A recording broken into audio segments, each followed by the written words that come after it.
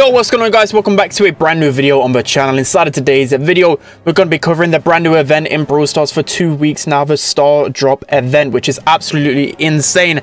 I got to see this a little bit of a sneak peek when I went over to Finland, and I was so excited because this is going to be very huge for the community. So we're going to be going through all things, give you guys a bunch of tips as well along the way, but of course keep you guys informed. So if you're not actually sure on what it is, you can literally go in game, you see it actually pop up when you open up the game as well and there's a lot of cool things. So essentially what this Starr drop uh, event is, you get double Starr drops every single day for two weeks starting today. So instead of three daily Starr drops, you get six, which is absolutely insane.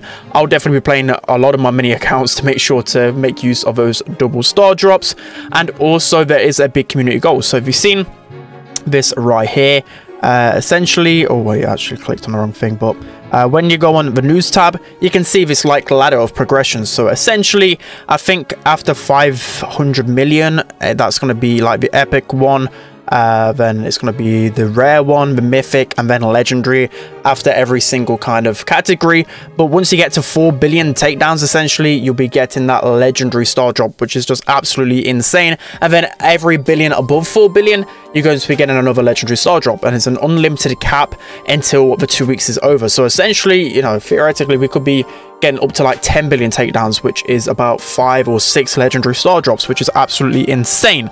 And then, uh, well, you can actually see it right here. So we've got 500 million super rare, 1 billion epic, 2 billion epic Starr drop, 3 billion mythic, 4 billion legendary, and then every single billion you begin another legendary. And also, make sure to subscribe and check out my community post and comment down your uh, social tag, whether it's Twitter, whether it's your email, whether it's Instagram, Discord, whatever it is. Make sure to comment that on my community post and subscribe, as I mentioned, so you can enter yourself into the chance of getting two of these codes. I'm doing one giveaway on Instagram as well, which is spenlc.bs, and my Twitter on spenlc, uh, which you can see on my overlay. Anyway, I'm doing five codes on Twitter, so that's your best chance of winning one. But essentially, with this, um, with this event, you get 170 gems if you win it, but you get the chance to get a golden code, which is just an insane thing. Unfortunately, I can't enter into this giveaway and win one of these golden codes. It'd be so cool. I'll literally show the animation of what they kind of did for about four minutes on the screen as well.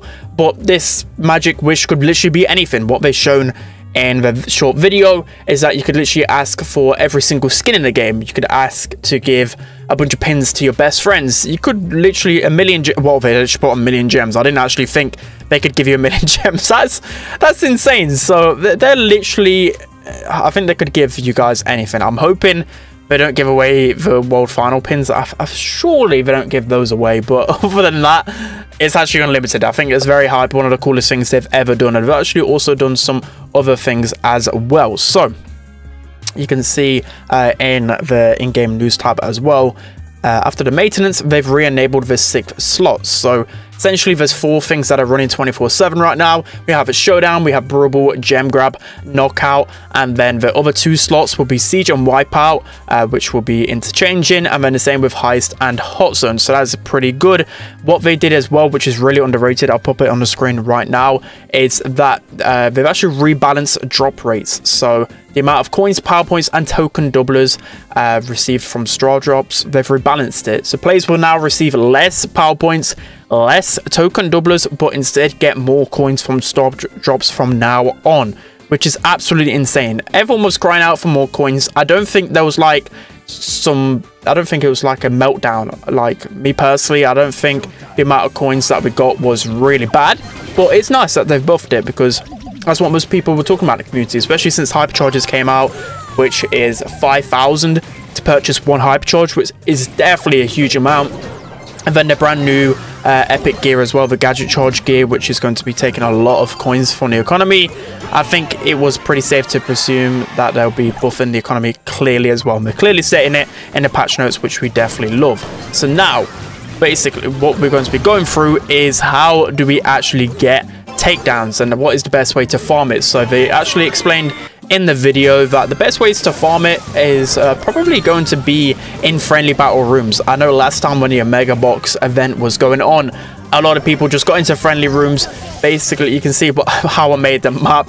You get three of your friends, uh, well, actually five of your friends, and just run at each other constantly with high DPS brawlers like Shelly, for example, Rico, you know, brawlers that can get instant kills pretty fast and just running each other for I think the best game mode for that's going to be Brawl because you can go on for 3 minutes 30 you don't want to go on to Bounty or Wipeout because now they actually have a kill limit I think before a year ago you could actually just go on bounty and just get so many stars and just farm each other so easily. So I think Brawl is your best bet.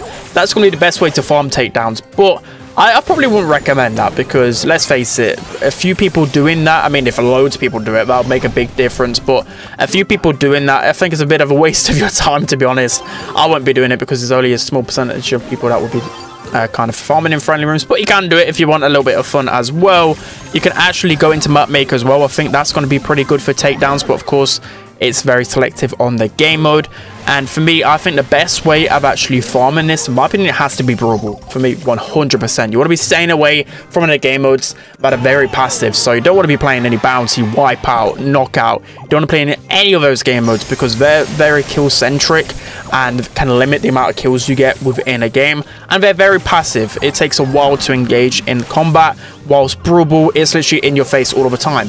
And the good thing about Brawl as well, well, it needs to be a really aggressive map. So you think of the map that's literally out in rotation right now, Sneaky Fields, it's perfect for farming the amount of takedowns. All I'm seeing right now is people readying up with like Bull, Primo, Shelly, all of these tanky brawlers, which I absolutely love. I got so many takedowns today, so I think the best way to farm it by far is going to be Brawl any grassy map which allows you to just abuse the speed gear, get into the faces of the opponents really quick. I think that's going to be the best way to farm those takedowns in my opinion.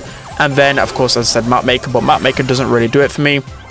I think uh, I, I, know it's really hype and we want to be getting the most takedowns possible, but I, I, just still consider it a waste of time, to be honest, if you go onto like map maker or friendly rooms because you're not actually gaining any trophies off it. Like, you may as well Uh, get like some mastery, a bit of your mastery grind as well. You may as well get some trophies on the way. You may as well even like play Power League a lot throughout the day to grind and get those bling as well. There's a lot of things that you can do to actually make it meaningful as well, not just playing friendly rooms for like hours on end. I mean, if you have fun doing that, I wouldn't put yourself against it, but it might get pretty boring just farming in a small enclosure.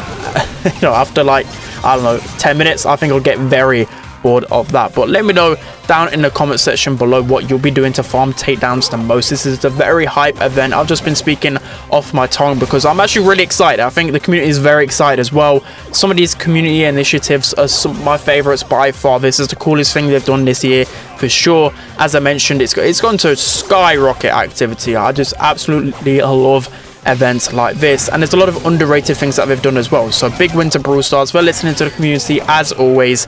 And i always appreciate the amount of effort they put into the game. So that's going to be it for today's video. Make sure to look out for my giveaways as i mentioned on all socials. So subscribe for that one to have the chance to win.